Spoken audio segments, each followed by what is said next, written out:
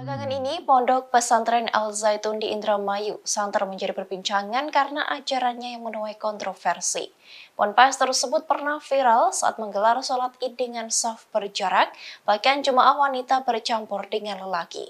Rupanya meski jarang diketahui publik, ternyata Ponpes Al Zaitun termasuk ponpes terbesar di Asia Tenggara. Dikutip dari tribunjabar.id, Pondok Pesantren Al Zaitun merupakan lembaga pendidikan Islam yang didirikan oleh Yayasan Pesantren Indonesia atau YPI.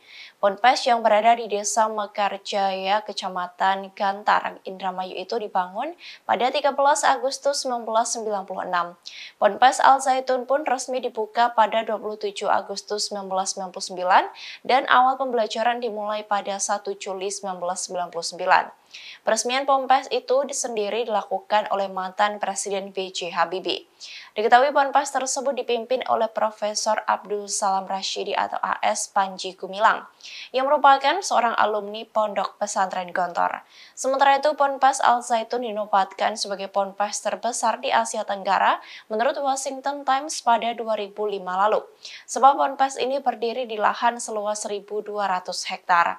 Pada 2011 lalu, Ponpes Al Zaitun itu memiliki 7.000 santri yang berasal dari berbagai wilayah di Indonesia. Selain itu, ada pula santri yang berasal dari negara lain seperti Singapura, Malaysia, Timur Leste, hingga Afrika Selatan. Terima kasih sudah nonton.